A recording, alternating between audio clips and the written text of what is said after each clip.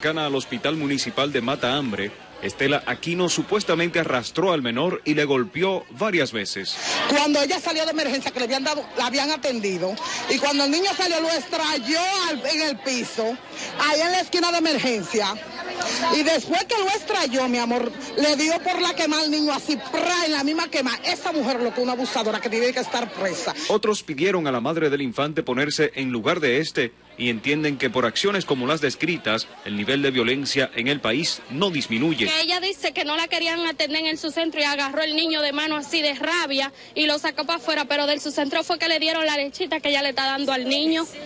Ella tiene que tratar de buscarle la vuelta y comprenderlo. De su lado, la supuesta agresora se defendió de los señalamientos. Más tarde, ante la presión de los presentes, desapareció de la escena. Que allá en emergencia estaba grito y grito, me pregunta yo emergencia y grito y grito y la mujer me dijo, la doctora, sal para afuera y cállalo.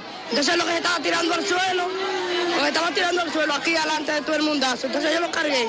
No. ¿Y cómo yo voy a tratar el hijo mío? El niño presenta una quemadura en uno de sus brazos, la cual según la madre le fue causada cuando le cayó una sopa caliente hace varios días. Los moradores de aquí de Mata Hambre informaron que llamaron a la Policía Nacional, sin embargo, estos nunca llegaron al lugar. Alfredo Acosta, Noticias SIN.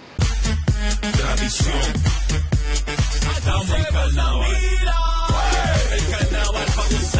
El carnaval nuestra común residencia virgen. Cachicha.com.